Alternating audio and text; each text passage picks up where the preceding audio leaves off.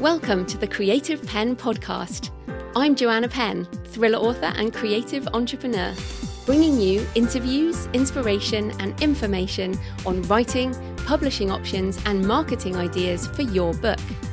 You can find the episode show notes, your free author blueprint, and lots more information at thecreativepenn.com. And that's pen with a double N. And here's the show. Hello, creatives. I'm Joanna Penn, and this is episode number 488 of the podcast.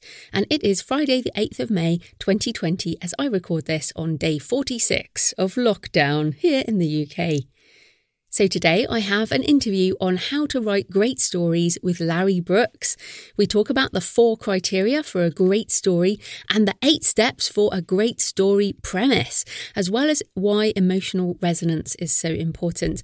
Larry really goes into some great details, so I know you're going to find this useful today. In publishing news, Findaway Voices releases the Headphone Report, a look at 2019 audiobook data, including growth in retail and library partners that helped drive huge gains. Uh, 264% growth in library borrows, and retail had 600% growth.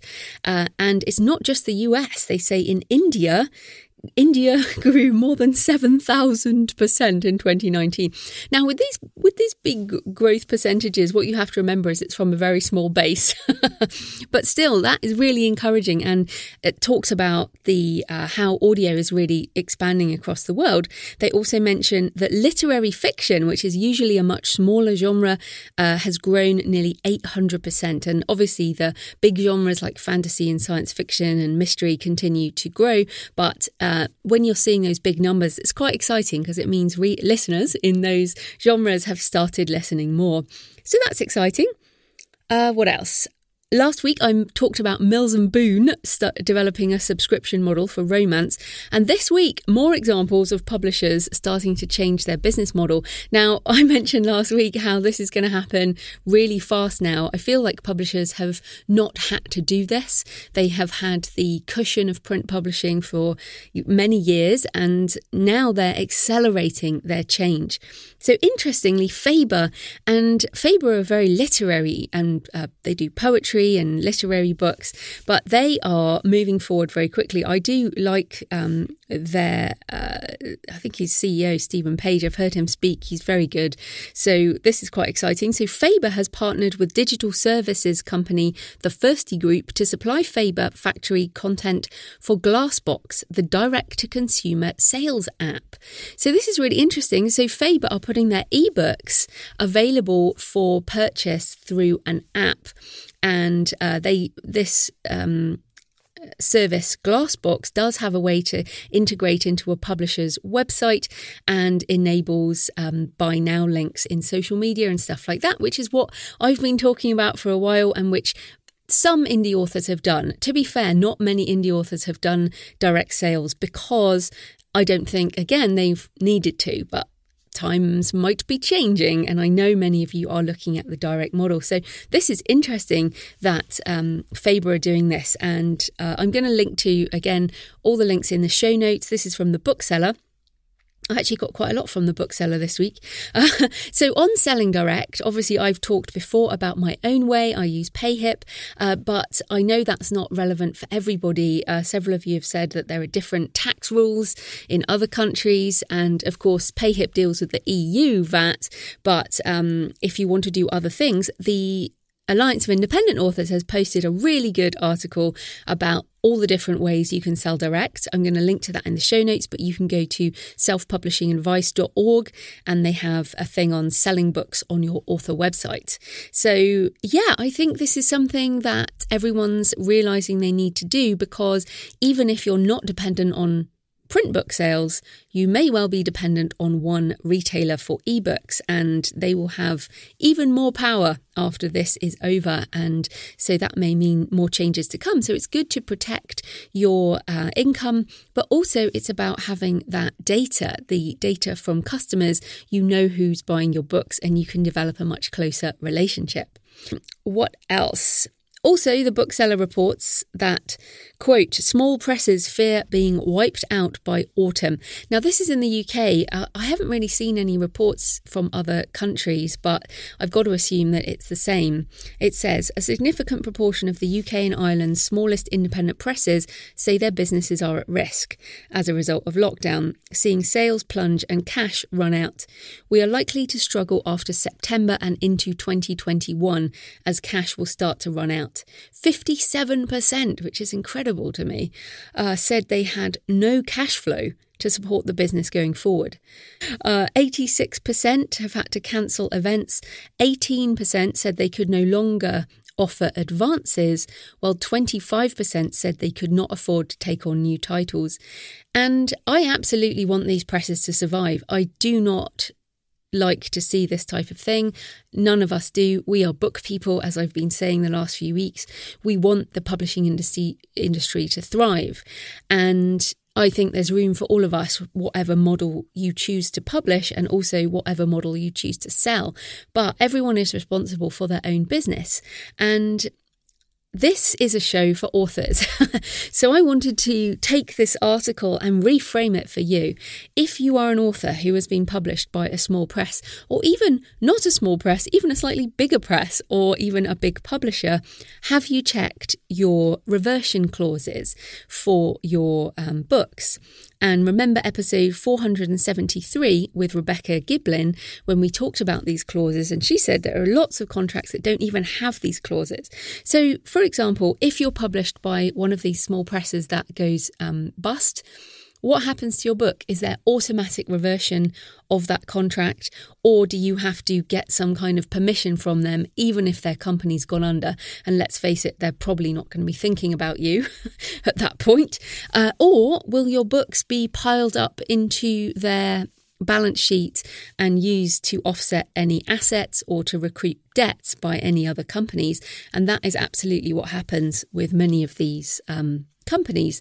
So I would suggest you check your contracts if you have signed with any publisher for any book. What have you signed away? What will happen if they struggle or even if they fail to keep the contract? So let's, um, it said there, uh, 18% said they could no longer offer advances and 57% had no cash flow. So it's not just about advances, it would be payment of royalties on non payment of royalties, do you get the rights back? Can you start independently publishing? All of these things are really important to consider because, uh, as much as you, we all care about the publishing industry and we care about books uh, and we care about these companies, at the end of the day, they, if they go under, you don't want to go under with them. So, no one cares about your long term success as much as you do. That's just the truth of it. So, um, this is your intellectual property asset. This is your career. So, value yourself and value your creative work and go check your contracts. and then of course i it's funny i we all go day to day we go from oh i can manage this i'm going to get used to this new normal and and then other days we're just like oh i'm really over this just want this to stop. In fact, I um I fell over this week. I tripped up a step and kind of threw my dinner all over the room and, uh, you know, had to sit on the ground and had a bit of a cry. And then I thought, I mean, no, I'm not really crying because I just hurt my knee. I'm just having a bit of a cry in general. And uh, I felt better afterwards. But it was just one of those days when I just was like, oh, where is life gone? And it's it's not just you know, I feel very grateful and absolutely. And I realize many of you have emailed me and said you're in a really great position. You get to walk along the canal. I'm like, yeah, I'm, I am very lucky. I'm, I'm, I'm very grateful for my situation, but. you know, things are difficult for everybody. And I just thought I'd share that I have bad days too. I try not to bring my bad days onto the show, but uh, I thought I'd share that. Um, I have learned to make a lot of tasty soup in this lockdown, and uh, which is good because the Financial Times in the UK reported today that the British economy is likely to have the worst recession in 300 years. I read that this morning and went, oh, great, that's really positive. but what it did, all of that, I want to just come back to the publishing side and being in control of our assets and being able to make money in other ways. What I'm feel very much is this is not a short term thing. This is not just going to bounce back in June or July or August. Um, this may well go on for a while in terms of the economic impact. Just, you know, the health impact I can't even comment on because I don't know enough about that. Um, we have to listen to the experts. But in terms of publishing, I, f- I feel like I've got a good enough handle to know that this is going to go on a while. so, yeah, please check your contracts. Please think about how you are going to continue your business uh, over the next year um, in difficult times. But I don't want to be a downer about it. You know, I'm a very positive person. And what I think is that we're going to come out of this with a much more resilient business model. And that's why I wanted to talk about Faber there, because I'm super impressed by some of the things they're doing to shore up their business. And it's Faber's one of the oldest um, publishers here. And uh, I think that's off the top of my head, but, you know, they're pretty um, they're, they're sort of held up in the British industry. They're a very reputable publisher. And it's great to see them really reinventing a lot of their digital side in order to surf the change, which I have been talking about for a while. So, yeah, let's take this and reframe it as okay, how am I going to make my business more resilient? How am I going to make my life more resilient? What can I do to put things in place for the long term? So, on my personal update, uh, I am still editing Map of the Impossible, and I had to do a total rejig of the final third of the book as my timelines were out. So, I have these different uh, groups, two main groups of characters who are going to meet in the same place at the same time.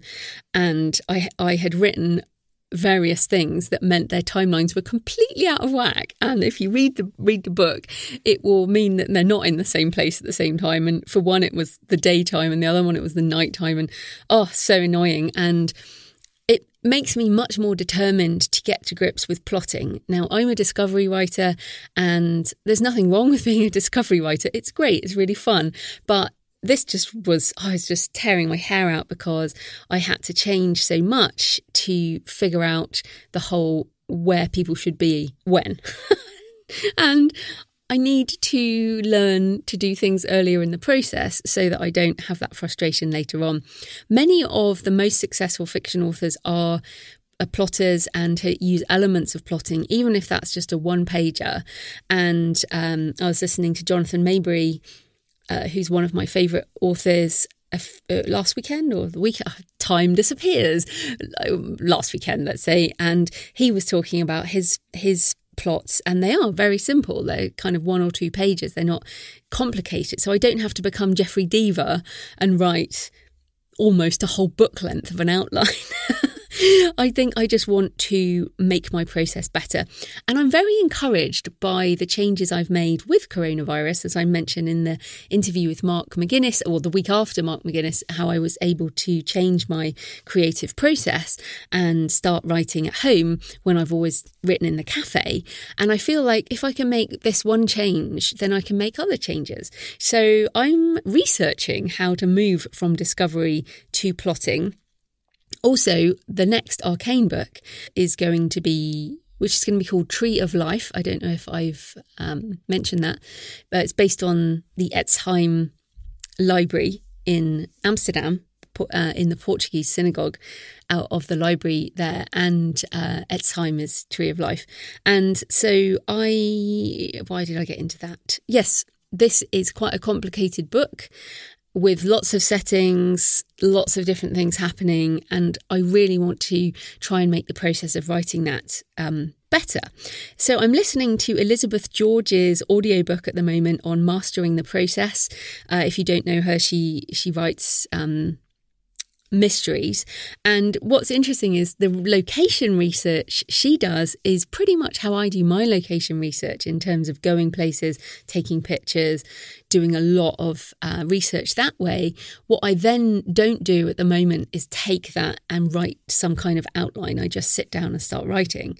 So that's something I want to do. Uh, what else? Yes, and you'll also see that I've got some interviews coming up where I mention this kind of thing. So I wanted to give you a heads up as to why I'm, I'm suddenly asking that question.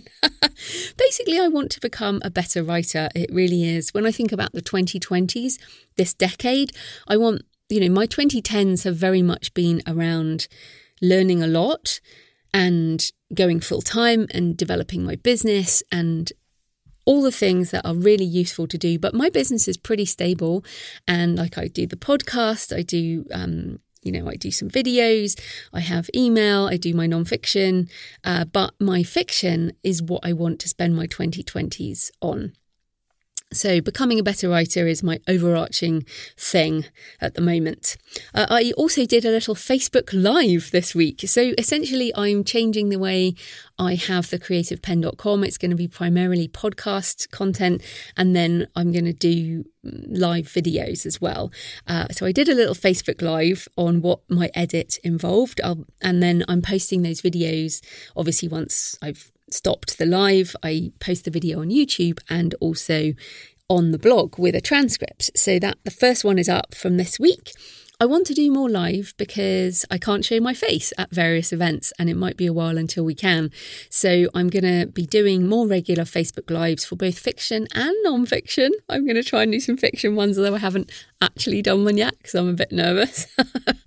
but um, I will be doing a Creative Penn Facebook Live on Friday, 15th of May at 4 pm UK, 11 am US Eastern. So that will be on facebook.com forward slash the creative penn. I will be answering questions on anything to do with writing and publishing and book marketing and all of that. So that's Friday, 15th of May at 4 pm UK, 11 am US Eastern. And uh, of course, that the replay uh, will be available in all the usual places. Also, coming up on the 11th of June, and you'll want to get this into the calendar, that's why I'm bringing it up early.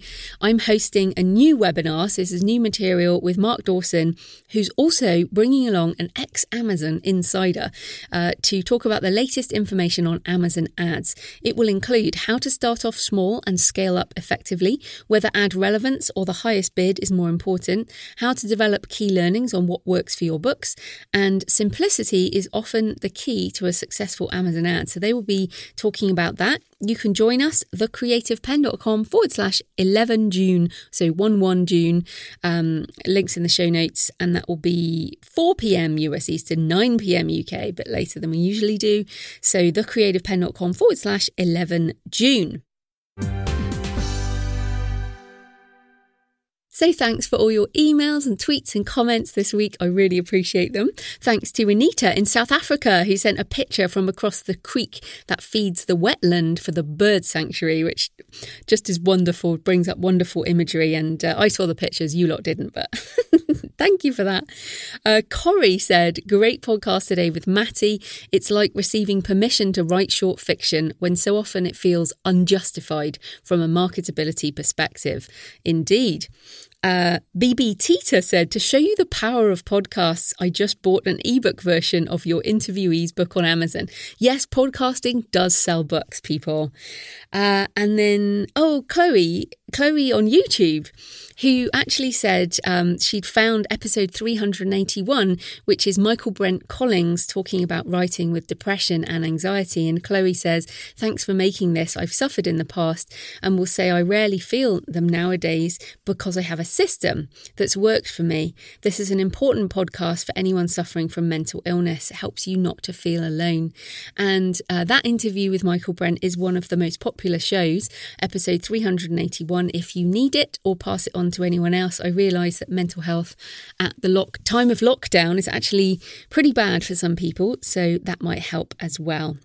And finally, uh, Verla says on Twitter, every Monday morning here in Manitoba, you and your guests help me think about things in a new way. Today's episode gave me ideas like trying a short non-fiction audiobook on Findaway.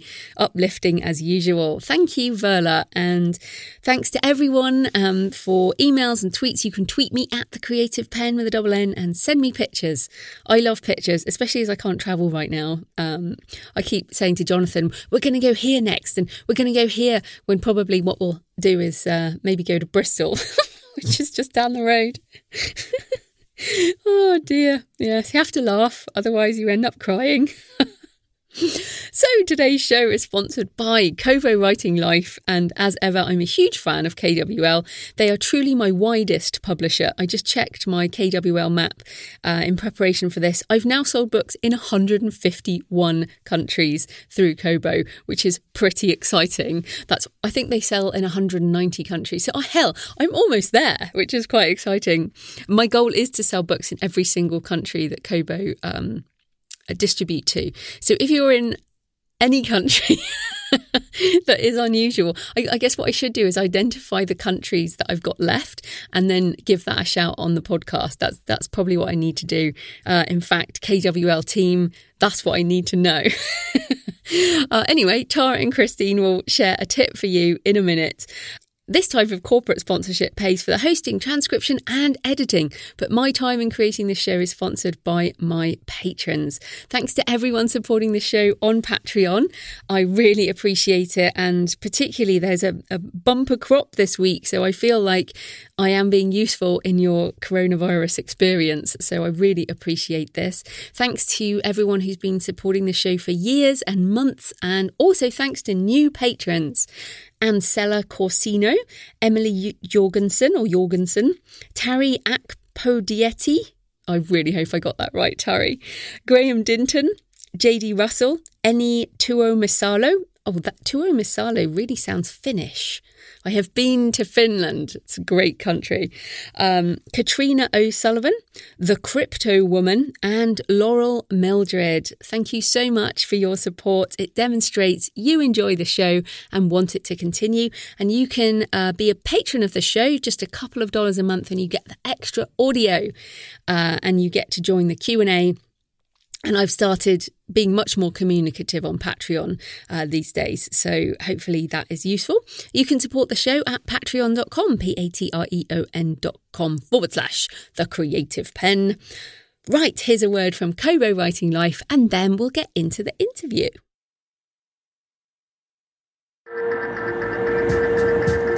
Hi, I'm Stephanie. And I'm Tara. And we're from Kobo Writing Life, Kobo's free, fast, and easy self publishing platform. KWL was built by authors for authors. And our team of dedicated book lovers is always working hard to help authors reach new readers around the world. And with that in mind, we want to tell you about how KWL authors can reach library readers. Right now, digital books are reaching more people than ever, and libraries are becoming an integral part of that. In 2019 alone, top digital library systems powered by Overdrive surpassed 174 million checkouts. This means a lot of happy library readers. You can easily add your book to Overdrive's library system through Kobo Writing Life. All you need to do is go to the rights and distribution section of your book, click yes to Overdrive, and enter a library price. Your book will then be available to librarians to purchase for multi loan use, but also for one time checkout option. And you'll earn 50% on every library sale. If you're not too sure what price you should set for your book, we recommend roughly the same price as a mass market paperback. Your book could be loaned out several times, which is why we encourage pricing higher than your normal ebook.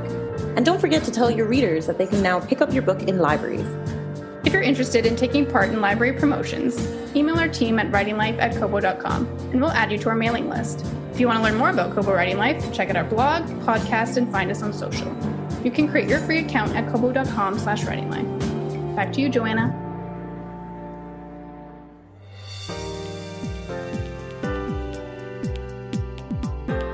Larry Brooks is the best selling author of psychological thrillers as well as books for authors, including Story Engineering and Story Physics.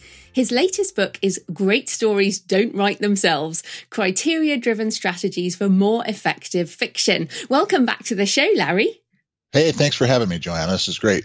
Oh, yeah, it's great to have you back. And it's actually been a while since you've been on the show. So tell us a bit about you and your writing background for anyone who doesn't know. Sure. Well, I'm probably older than most of the people listening here. I, I you know, it, at least it feels that way sometime. I, I started writing uh, with the intention of publishing in the 70s. And I was an overnight success uh, beginning in 1999. So it took it, it, took that long to get something published. Although I was making a living writing corporate uh, marketing and training stuff the whole time, which is its own sort of torment because you spend all day writing stuff for clients that you really don't want to write, and kind of in the back of your head, your new novel's kicking around, and uh, it's kind of distracting. So when we sold the company and I had the opportunity to kind of chuck all that and write fiction, I did that. And uh, so I published, I wrote and published uh, six novels over a few years.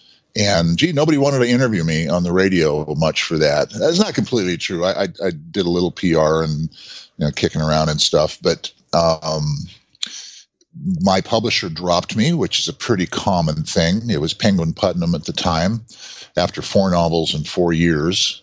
And then I had to scramble, and my agent had to scramble, and I ended up with a small publisher. And then things slowed down, and I thought, what am I going to do with this slowdown? So a friend of mine's son was big into the digital world and got me started blogging. And the only thing I was qualified to blog about, I think, was writing books. So uh, and was pretty opinionated about that, and had a lot to say.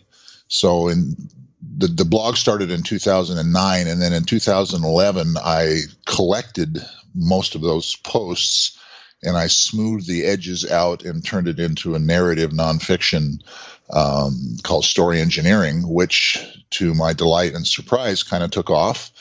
When we say take something in nonfiction takes off, it's way different than a novel taking off. It's a much smaller thing because it takes off in a niche, takes off in its own little neighborhood, whereas a novel can take off globally when it happens. That didn't happen to me, by the way, but um, the novel, the, the, the story engineering book did well, so it launched me down a path of continuing to blog and and uh, teaching writing at conferences, um, mostly around the country, but a few international gigs.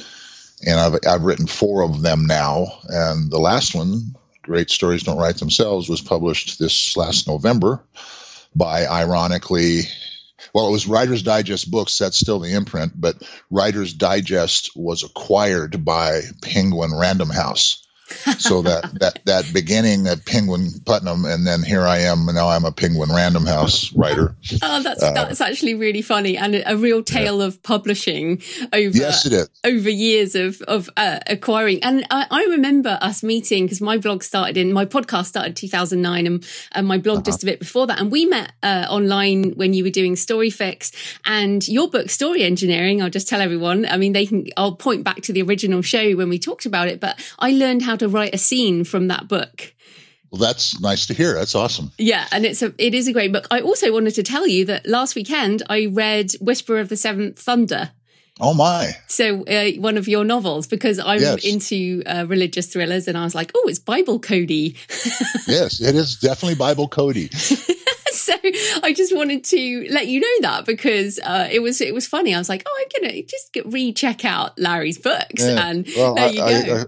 I, I, hope you enjoyed it. That book took 27 years to write. I had I, I literally had the idea for that 27 years earlier, and just procrastinated and pondered and was kind of worried about the implications of messing with that topic. Having read it, you know what I'm talking about. Mm. And uh, really, I actually consulted with priests and spiritualists and a minister and wiser people than me about should I mess with this? And some of them said, no, you shouldn't. And so being a little feisty, I said, well, okay, I, am going to go do it. And uh, that that happened. So yeah, unfortunately, it didn't get banned by the Vatican. it didn't. I didn't get any attention from the Vatican at all. Which... Well, neither did I with any of mine. So yeah, that's unfortunate. but um, yeah. okay, let's get into the latest book. Um, so sure. I think it's really interesting, and I'm, I'm going to read a couple of the quotes as we go through. But you say not all story ideas are good or even viable, and too many writers are committing to too many weak story ideas, which is like like, okay, then. so, yes. so I think this is really good advice. So, how do we know, though, when a story idea is strong enough or if a story idea is too weak? Well, it, it is a, a fabulously germane, important, urgent question for all of us because none of us sit down and say to ourselves, hey, I've got this idea and it's really mediocre. So I think I'm going to sit down and I'm going to spend a year of my life writing up this mediocre idea into a novel. We don't think that way. We all think our ideas are worthy and they fascinate us. and so that's that's the thing that moves us toward the blank page and we start to write but there's a couple of things that new writers uh, need to learn or inevitably will learn the longer they take care of this and that is that while this is fun and while this is personal and it's an outlet and it's you know uh, a pressure reliever and all the things we want to think our writing is when you seek to publish you're hanging out a shingle in effect and you're you're announcing that I'm now a professional. I'm in this business, and like any business, you are uh, creating a service and a, a product, if you will, for a market, for an audience. So the fact that you were really intrigued with your idea when you start a project may or may not translate to something that the market's going to agree with that, oh, I love this idea. And the data proves this out. In my book, I cite a statistic that was quoted by the Huffington Post, but it's an, a, a statistic that kind of floats around in, in actual specificity, but you can find this data in all kinds of places. And that is that 96% of the manuscripts submitted to agents for publication are rejected, and only 4% are ultimately accepted by a publisher. Now, that means that some of those were accepted for representation, but they never got a publisher. But that's a pretty scary proportion. 96% don't do what, what you hope they'll do. The dream doesn't happen, and only 4% succeed. And yet, nobody really challenges that. And I found myself as part of a, a writer who's writing these books and teaching the stuff out there in workshops and conferences, part of what I call the writing conversation, which is the collective noise about what's true and what should be true and what isn't true about writing, which includes not only books like I write, but and that you write, uh, but the blogs that we write and the workshops that we give and the forums we talked on and the critique groups we belong to, and all of our friends who are also writers, and the writing conferences where there's all this buzz in the hallway and everybody's sharing their conventional wisdom about writing. Now, why would we just accept a conventional wisdom that has a 96% failure rate? And that's that got my attention. Mm. And and I wanted to challenge that. There has to be a better way. So I started analytically talking to people at various stages of their career and their learning curve. And we need to understand that the people who repeatedly end up on a bookstore shelf, they don't experience a 96% failure rate. Those writers basically get everything published. Now, it's true that their first draft may not get published and that they may work with editors at the publishing house to finish the project to the liking of the publisher.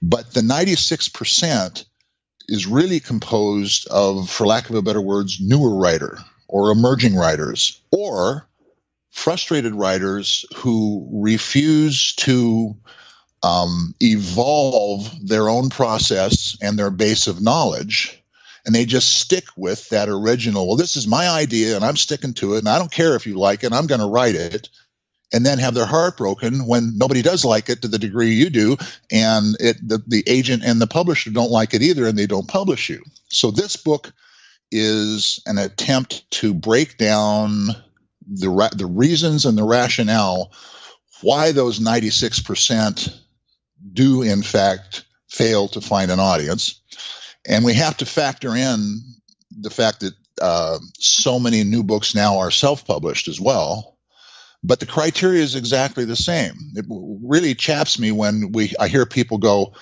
"Well, I don't I don't have to follow any of these principles because I'm going to self-publish and I can just do it any way I want to." When in fact, the criteria that makes a story work and the high bar at which we must execute those criteria is exactly the same for a self-published author seeking to grow an audience as it is for an author aspiring to land an agent and end up in a traditional publishing situation. Mm. Yeah, I think you're right about that. And I, I, I mean, obviously, it's very easy to publish now, but it yes. is not easy to find an audience. It's not easy to be, in quotation marks, successful as an author. Um, and in fact, even if you are published, it doesn't guarantee by, by a publisher, it doesn't guarantee that you're going to be successful. It doesn't guarantee a particular level of income and it doesn't guarantee prizes or anything like that. Right. But I think, you know, let's agree that um, with the listeners, we all want to write a really good story. And uh, it's interesting, you said evolve the process. And I mean, I've written at this point now 17 novels. I've actually, I'm having a gin and tonic, as I mentioned to you, because I just printed out the first draft of my next uh, novel, Map of the Impossible. And I want to write better stories and uh-huh. I want to be a better writer. I want to evolve my process. And so let's get into the book. So, one of the things you say is concept is the secret source of story selection. So, right. what is concept? I mean, people might have heard high concept, but um, let's talk about concept. Sure, that's a that's a great question. And before I do that, I just want to circle back and finish the idea question because you you asked about what constitutes a great idea, and I really never answered that. In the book, the theory of this new book is that I've broken the entirety of what a novel is and what it has to do down into 16 categories or buckets. The most early of which is the story idea. And then for all 16 of those areas, I've, I've um, defined criteria that are, you have to use the word criteria a little loosely, but they're principle driven criteria that say if you do this, it will serve you. If you don't do this, it may hurt you. So, for example, with idea, there's four criteria offered in the book. And the first one is that the, the idea leans into a dramatic intention or a dramatic proposal as opposed to simply an observing thing or a documentary type of, of, of story. You know, what I did on my summer vacation may not have a shred of drama in it. And yet people write novels about that kind of thing all the time. Here's the novel of my summer in Venice without any drama. It's just a documentary of what they did. So that criteria for your idea really uh, elevates it if you come up with a dramatic level to it. Another one is uh, a vision for the character and the worldview and how they're going to behave in a situation. Going back to number one, the dramatic situation into which you're going to thrust your character who is that person and how will they respond? You need a notion of that, and it, it becomes context within your idea. The third criteria is there's a sense of thematic and emotional resonance to it. So, for example, your summer vacation in Venice may, may not mean anything to a huge portion of the potential reading public out there. They don't care about Venice. They don't want to go to Venice. It's important to you, but it's not important to anybody else. So the idea should touch on things that people can relate to and empathize with. And we put your hero into a situation where we not only can relate to it, we root for them. We don't want to just watch them. We need, we emotionally root for them on whatever that journey is. And the final one is that there's some sense of how the story will unfold, which is kind of a, that, that the slope of that is exactly the same as your learning curve. The more we learn about a, how a story is built, the more we kind of intuitively sense at the idea stage how it can unfold. So, with those as the basic criteria for an idea, and getting back to your question about concept, it's true that you can actually meet all four of those ideas, uh, those criteria, and come up with a perfectly vanilla, been there, done that, not all that compelling story premise. So, what do we do then? And the answer is if the first delineation is are you writing what is by intention a literary novel, or are you writing a genre or a mashup of genres or a commercial novel? The room divides depending on your answer because when we say we are writing a commercial novel, which by definition becomes some sort of genre or combination of genres, it's a mystery, it's a thriller, it's a paranormal, it's it's a historical or whatever those genres are. The the word genre should be synonymous with conceptual.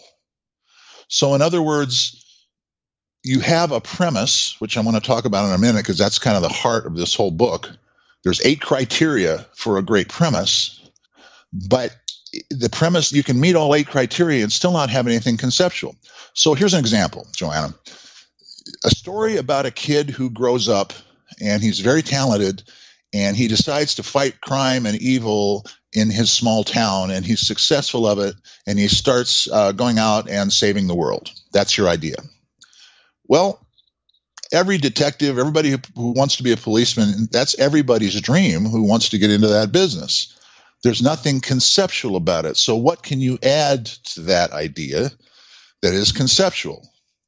The definition of concept being something that isn't the plot, but that becomes a framework for the plot or the story or the character in such a way that it flavors the story in a certain way. So when I give you this example, you'll see that right away. Take that same kid who grows up and he wants he's talented and he wants to save the world. And the author goes, "Well, what can I bring to this that nobody's ever seen before?" Let's say it's 1936 because you're going to recognize this right away. Let's say that character actually arrived on Earth in a crashing spaceship a really nice couple in rural Kansas finds him. He's still alive. They raise this child because he appears to be human, but he actually ends up with all these very superhuman uh, traits and abilities, and they raise him well to appreciate good versus evil and want to help others. And he realizes that he's very super. And his mother takes that to the next extent and makes him a costume and suddenly this kid is actually Superman. And everything about Superman aligns with that original story idea that I just pitched to you. A kid grows up and he realizes he has talents and he wants to go fight evil and maybe save the world, which isn't conceptual until you put a suit on him and let him fly and you create this amazing backstory and you do so within a genre that allows you to be that far out there and you've got probably the most iconic genre character slash hero ever created, along with Sherlock Holmes, who is conceptual. Batman is conceptual. Um, Janet Evanovich's uh, characters, uh, Stephanie Plum is conceptual. So if you can bring something conceptual to the to the character or to the story world, a world in which time travel is possible. That's conceptual. You're still writing a love story, you're still writing a mystery of some or a thriller, right? But when you add time travel to the mix, it becomes conceptual. Now, some people would say, well, that's easy if you're in science fiction or par- paranormal or something like that. How do you be conceptual within a romance or a mystery thriller, which is, I'll grant you, harder to be conceptual? Well, if you've got a love story about going back to Kansas, not picking on Kansas here, but it's kind of it's it's it's good old uh, salt of the earth farmland with really great people. It's not highly conceptual in any regard in that sense, but about two people that grow up on neighboring farms in Kansas and they fall in love. That's not really conceptual. So, how do you make that more conceptual? Well, instead of two farmers falling in love in Kansas, how about two people that work for the president's staff in the White House fall in love amidst a policy of no fraternization in the White House in full view of the entire nation? But they're falling in love. That's a conceptual layer that you bring to the story. And when you begin to wrap your head around what concept is and the, the, the, upside of it, you can see how just about any story can be rendered more conceptual. And if you go look at the stories that, other than bestsellers who are down the road that can really publish anything, the concept actually is their name. You know, the next novel by uh, Nora Roberts is a concept. Nora Roberts is a concept. You want to see the next Nora Roberts book if you're a mm. fan. Mm. That's a concept, and that's the definition of concept. The, the best definition, the succinct definition of concept is you pitch the concept to someone, but it doesn't tell them anything about the actual plot. And the, the listener goes, wow, that sounds really cool. I want to I want to hear that. I want to hear about a love story that takes place in the White House. Yeah. And there's no story yet. Yes. And I think this is why fiction is a lot harder than people think. like yes. I, I feel that when uh, this is why it's a lifetime's journey i think to be a fiction author because there's always something more to try and something more to learn.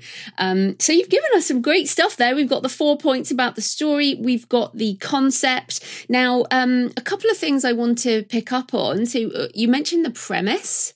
So yes. we'll, we'll, come to that. And then i also want to come back to um, emotional resonance. So let should we do premise first? Because i think yes. a lot of people the word premise is bandied around by so many people. And in fact, if you look it up on the internet, it, it, it has so many different definitions. It is ridiculous.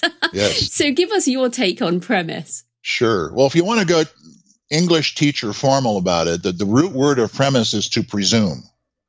So there's a presumption of something that exists in your story. And that's when you're you're putting forth a premise. And you're absolutely right, Joanna. This word is mashed together with the word concept, sometimes theme, in by book reviewers, by other authors, by agents. They don't differentiate it in a way that allows the writer to understand that those three things are different. Premise, concept, and theme are all three different things.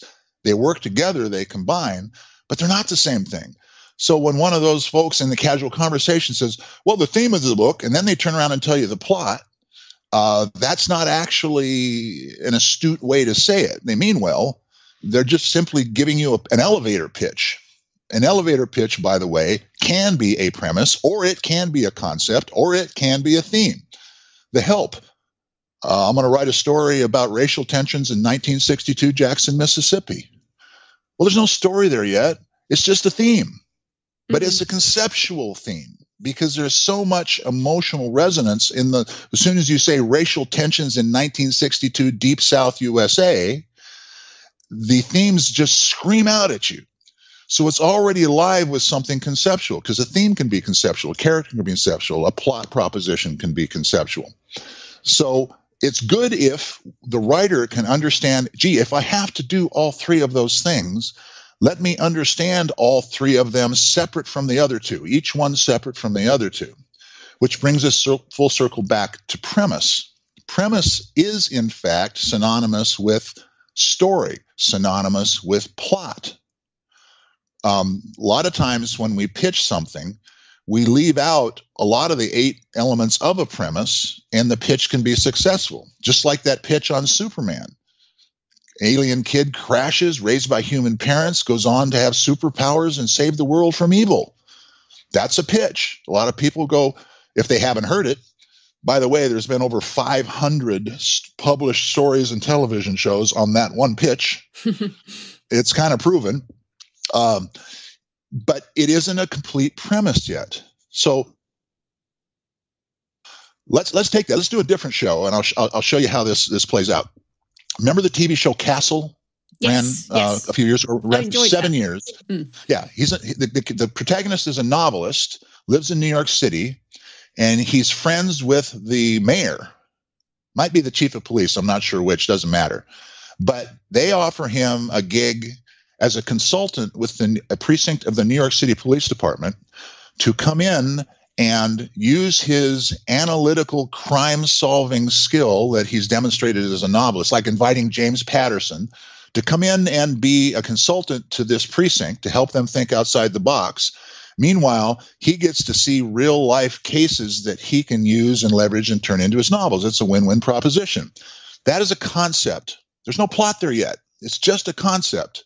And yet, over seven seasons, there was 174 episodes of Castle, which means there was 174 unique, separate, and different premises because it told 174 different stories from that one concept.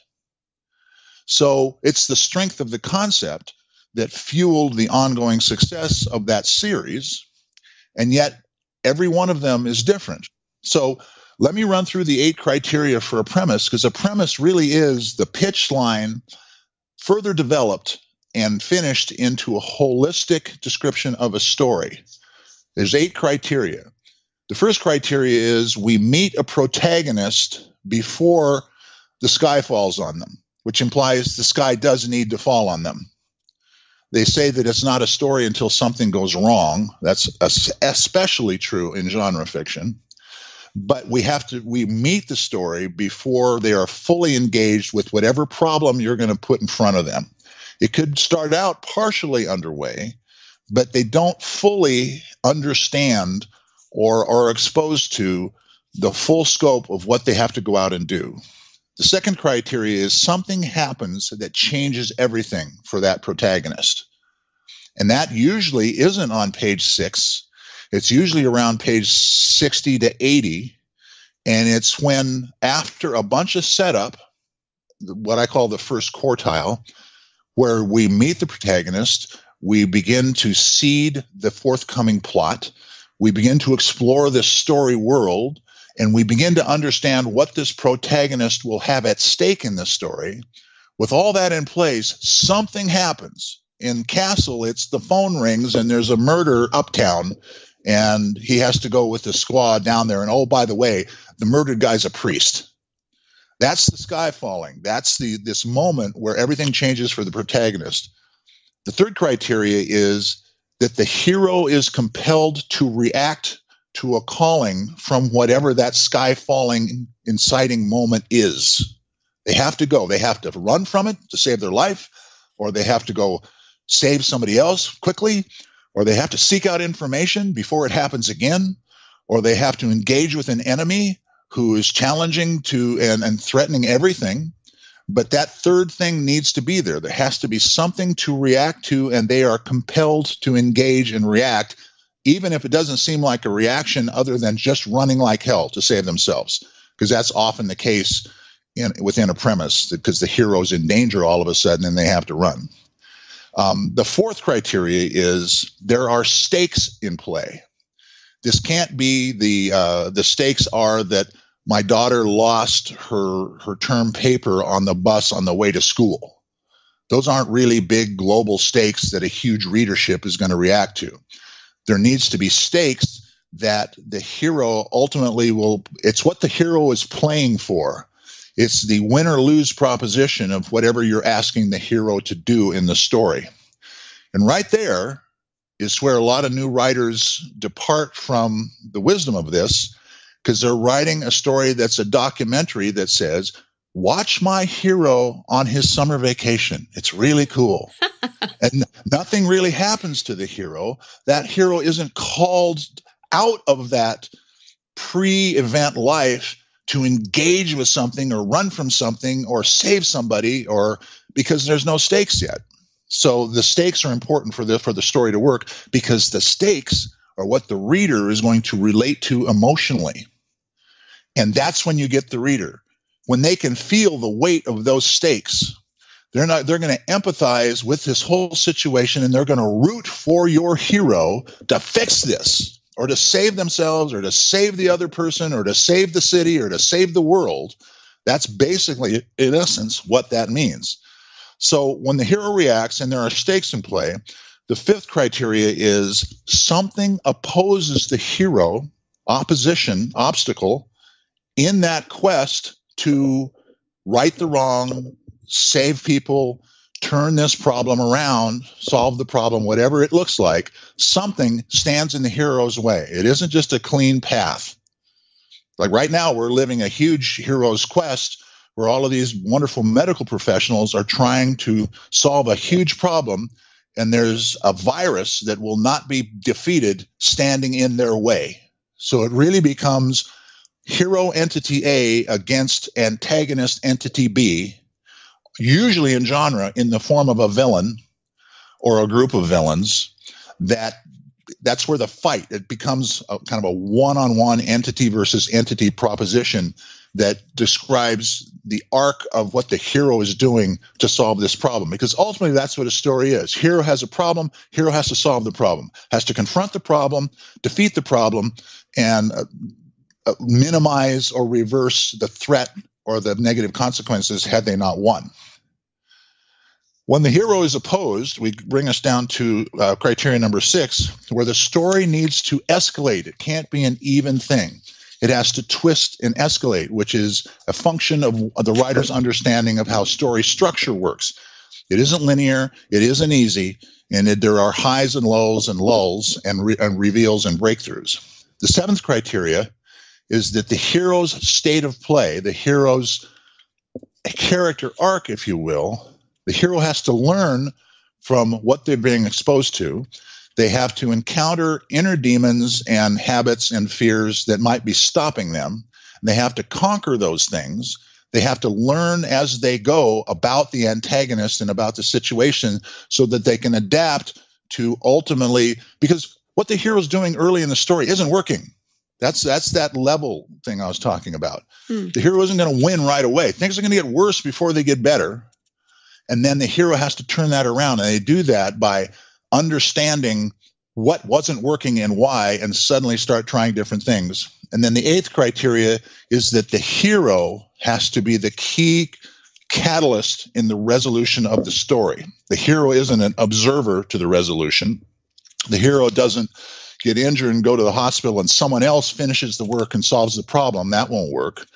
It's the hero resolves this whole thing somehow, maybe not completely, maybe maybe not completely happily, but they vanquish whatever the problem is, whatever the villain was agenda was, and they the world returns often to a new normal, if not the old normal.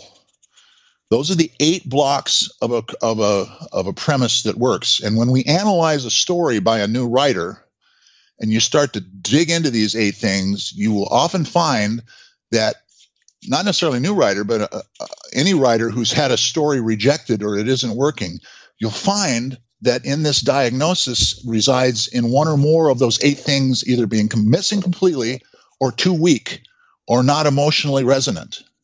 Mm. Wow, you've given us loads, Larry, and uh, we're actually we're actually almost out of time. So I'm I'm going to ask one more question because okay. I think that emotional response, that emotional resonance. I feel uh, that many indie writers, many writers have good idea for plot and what you outlined right. there. You know, it's a kind of the hero's journey type of thing, and that people can fit those to plot. But what is often right. missing is the depth in the writing where a reader has an emotional response. It doesn't have to be crying or anything, but something that's right. deeper than just, oh, here's another fight scene. Um, that might, that is a very difficult thing for many people to write. So, right. uh, w- what are your tips for the emotional resonance?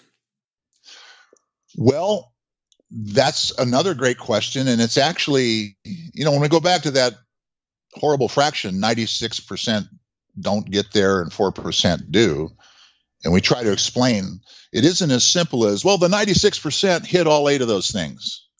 And the 96% can write really solid narrative prose. Yes, yes, and yes. But the real reason that that 4% works is that the nature of the problem that you've asked your hero to engage with is something that the reader can feel. So let's look at a ridiculous premise like Superman or Batman. There is no Superman, there is no Batman, but when Batman is trying to stop an evil villain and his gang who want to poison the water supply of an entire city and kill all the children and basically decimate civilization in a region of the United States, that is something that anybody with a pulse is going to want stopped. So you create a story world that gives you permission to have these fantastical elements, but then the story translates to reality in terms of the reader feels it. They not only feel the urgency of the need, they feel the weight of the stakes. And they, they can feel what that would be like if something really happened there. So if somebody writes a novel about this coronavirus we're dealing with right now, and it's about a doctor who has a solution, but nobody will believe her. And her fight is to get her solution into the right hands so that it can suddenly be distributed widely. But for political reasons, they're not listening to her. Can't you feel that already? And me just saying that? We root for this doctor. We understand that this doctor is important. And unless she achieves this goal, the story goal you've given her, bad stuff's going to happen to all of us because work that's in our lives right now. So that's an example I just just sparked right now because it's something we can all relate to. even though the story is really about one doctor, one chemist who came across something that doesn't seem like it would work, but it does, and she has to take it forward and get it out there. But there's big pharmaceutical companies that want that chunk of business and they're trying to stop her. See where the story starts to layer in? But it's all based on the reader feeling the need and rooting for her, not just watching her, rooting for her to succeed in this quest that you've given. And that's the magic of emotional resonance. It's really the degree to which the reader cares about the, the, the hero and what you've asked them to do because the stakes are something they can relate to and emotionally uh, feel and fear, if you will. Yeah, and I think we see this in a lot of the Hollywood blockbusters um, that you know have lots of effects, but they sure. don't necessarily have the emotional resonance that we want, and that's right. why they then um, fall apart. And although I, I pick up on uh, like I, I love these big action movies to be honest, and the the last Avengers movie where they're all together and uh-huh. all, they all come together to fight the you know the bad guys, um, right. and they have that scene uh, where they're all the different types of heroes come together. Right. And I found that emotionally resonant. I mean, it's about as far right. from our life experience as possible. Sure. But these were, this is a friendship uh, resonance, a we're banding together to save the world as friends. And I think, I mean, that's one that uh, it often happens in YA books, I think, young adult right. books.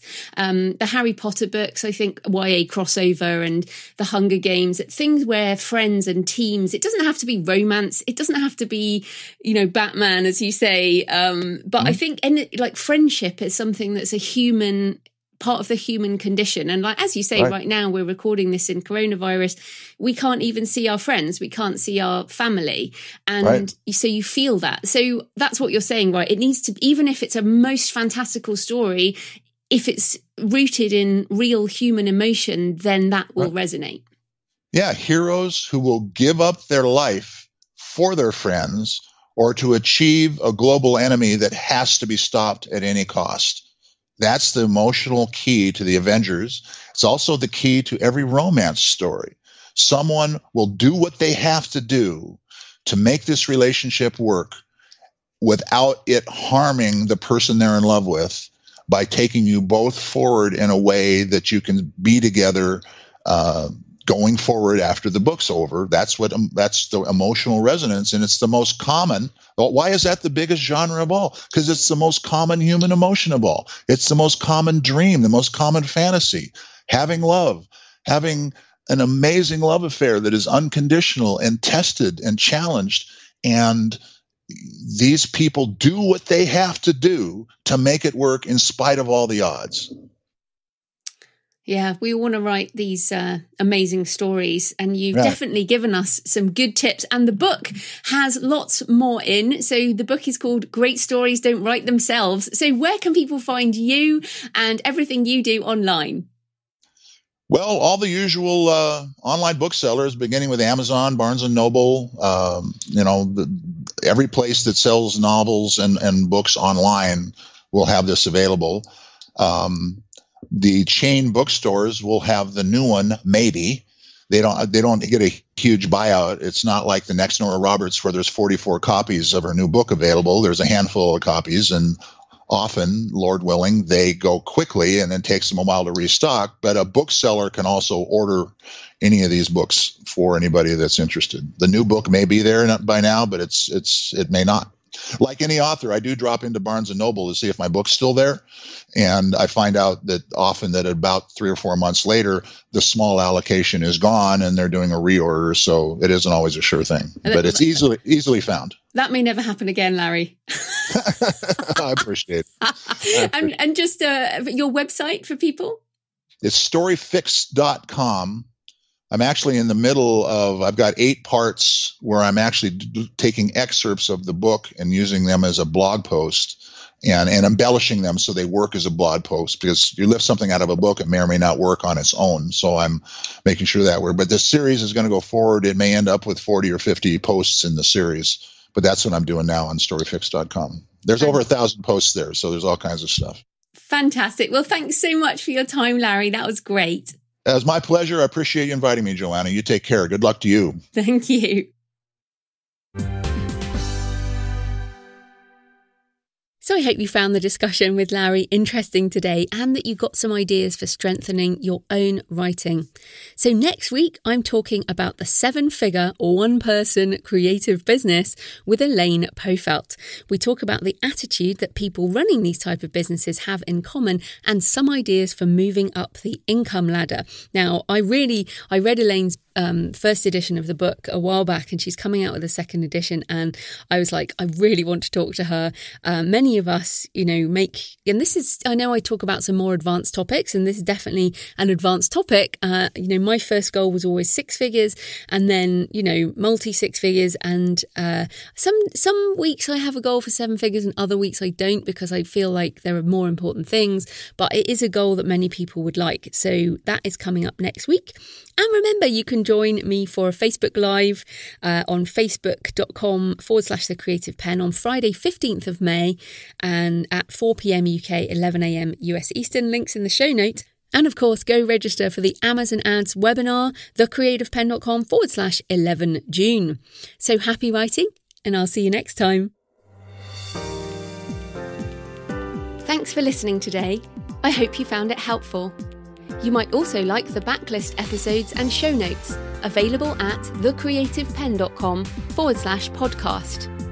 You can also get your free author blueprint at thecreativepenn.com forward slash blueprint. If you'd like to connect, you can tweet me at The Creative Penn or find me on Facebook at The Creative Penn. See you next time.